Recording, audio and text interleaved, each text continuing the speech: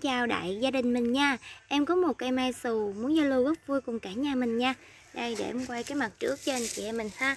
Cái cây mai này à, hoành nó được 34 nha anh chị em mình. Hoành trên cổ rễ là 34 Chiều cao của nó là 53cm nha anh chị em mình ơi. 53cm Cây mai vàng sù mini nha. Anh chị em mình về thì mình nuôi cây zin cũng được Hoặc là mình thích ờ, cái mặt bông nào á cả nhà.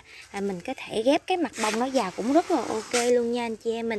Đây, đây là cái mặt sau của nó nha anh chị em mình. Mai vàng sù nha cả nhà. Chiều cao của nó là 53cm Hoành 34 trên cổ rễ nha anh chị em mình.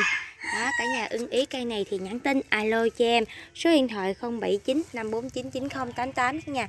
Đây anh chị em mình xem rễ của nó nha rễ rất là ok luôn anh chị em mình. Hai mặt rễ rất là ok luôn nha. Ưng ý cái phôi này thì nhắn tin alo liền cho em nha. Số điện thoại 079 549 9088 nha cả nhà. Hai mặt rễ rất là ok nha anh chị em mình ơi. Ưng ý nhắn tin alo cho em nha. Chúc cả nhà mình có một ngày vui vẻ cả nhà. Mai vàng xù nha, hoành 34 trên cổ rễ nha anh chị em mình nha.